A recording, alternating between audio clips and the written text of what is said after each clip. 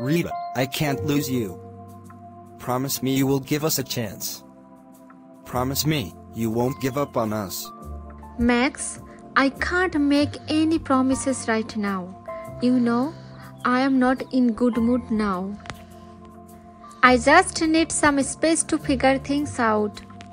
Okay, take the time you need. But please remember that I love you. And I can do anything for you.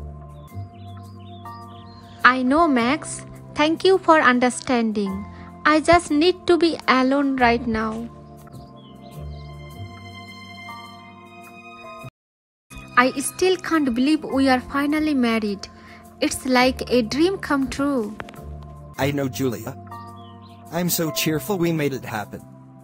You make me so happy. And you make me happy too. I feel like everything is perfect now. Yeah, it is perfect. We are together, and this is the more important things. Do you think Rita will be okay? I mean, with everything that happened? I hope so. I know it was hard on her, but we couldn't stay in a marriage where we weren't happy.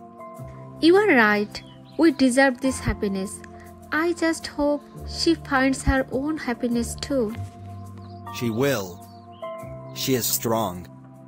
And she will move on. We just need to focus on our life now.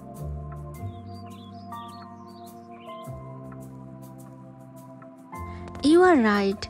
Our future is bright, and I am excited to start our new life.